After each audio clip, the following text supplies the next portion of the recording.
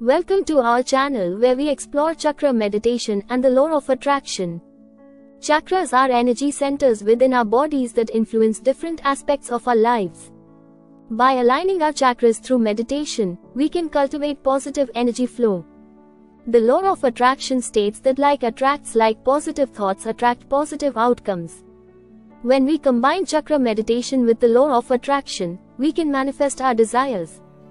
Focusing on specific chakras can help us attract abundance, love, and success. Root chakra meditation can help us feel grounded and secure in our lives. Sacral chakra meditation can enhance our creativity and passion. Solar plexus chakra meditation can boost our confidence and personal power. Heart chakra meditation can open us up to love and compassion for ourselves and others.